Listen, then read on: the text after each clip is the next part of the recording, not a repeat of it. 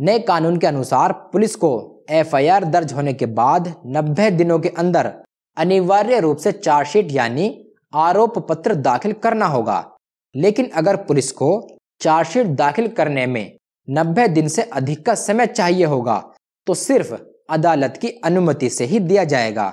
लेकिन अदालत द्वारा भी चार्जशीट यानी आरोप पत्र दाखिल करने के लिए अधिकतम 180 दिनों का समय ही दिया जा सकता है, जिसमें तय समय के अंदर ही विवेचना पूरी करके चार्जशीट को ट्रायल के लिए भेजनी होगी और चार्जशीट दाखिल होने के 60 दिनों के अंदर अदालत को चार्ज फ्रेम यानी आरोप तय करने का काम पूरा करना होगा।